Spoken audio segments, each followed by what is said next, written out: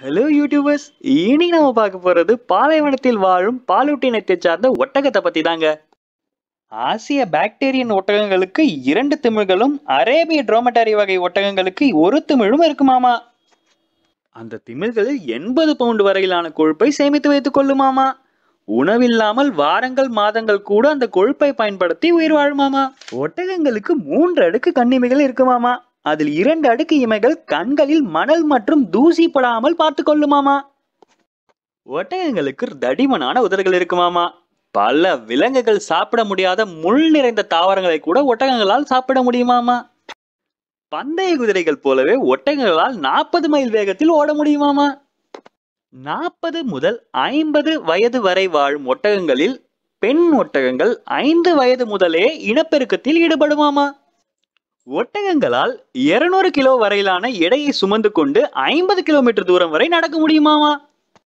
ஒட்டகங்களால் நூறு நாட்கள் கூட தண்ணீர் அருந்தாமல் இருக்க முடியுமாமா? மீண்டும் தண்ணீரை குடிக்கும் போது சுமார் 200 லிட்டர் வரை தண்ணீர் அருந்துமாமா? நல்லா இருக்குல்ல? இந்த மாதிரி பல இன்ட்ரெஸ்டிங்கான தகவல்களை தெரிஞ்சுக்க நம்ம சேனலை சப்ஸ்கிரைப் பண்ணுங்க அண்ட் ஃபாலோ பண்ணுங்க.